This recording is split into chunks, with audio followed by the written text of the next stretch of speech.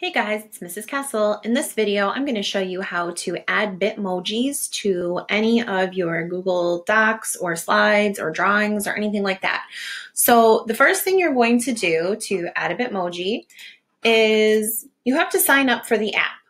So this has to be done on a phone or on a tablet or an iPad. It can't be done um, on a computer. So get your phone or your tablet or your iPad and you're going to download the app from either the Google Play Store or the App Store. Okay? So if you have a Apple product like an iPhone or an iPad, use the App Store. If you have an Android device, go to the Google Play Store, search for Bitmoji. Okay? You're going to download the app. It is free.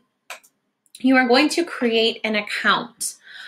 Um, if you already have a Snapchat account, I wouldn't link it to that because this this is going to be used for school. So I would use your school email um, and password to sign up for a new account for your to have a separate school Bitmoji.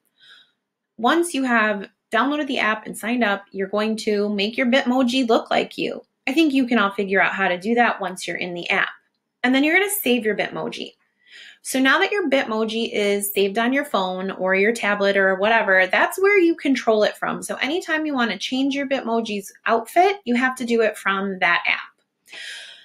To get it in your work, you're going to open up Google Chrome so you can see down at the bottom this little green, red, yellow, and blue circle is the Google Chrome icon.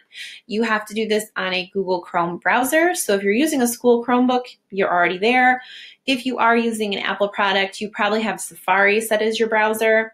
Um, this is a MacBook I'm on. It had Safari set as my browser. I just downloaded Google Chrome. Once you're in Google Chrome, you are going to open a new tab and you're just going to search for Bitmoji extension. And there it came right up. I search and it takes me to the Chrome store. Now, this is an important step right here. Before I click add to Chrome, I wanna look up at the top and make sure I am logged in using my school account. So I can see I am logged in with my at dearbornschools.org. If you are logged in with your personal email account, your Bitmojis aren't going to show up in your school stuff. So you need to download this on your school account. If you aren't signed into your school account, you would just either click your school account or click add and add your school account. Once you're in the, uh, the Chrome web store, you're going to find the Bitmoji extension, click add to Chrome, click add extension, yes, just keep saying yes. And now I have the Bitmoji app. Now I'm already logged in because I've had this on my computer. You will probably have to log in with that same email and password you put in on your phone.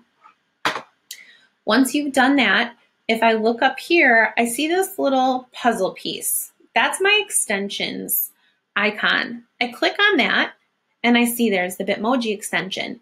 If I want the Bitmoji extension to show up up here, I click the push pin and that will pin it to the top.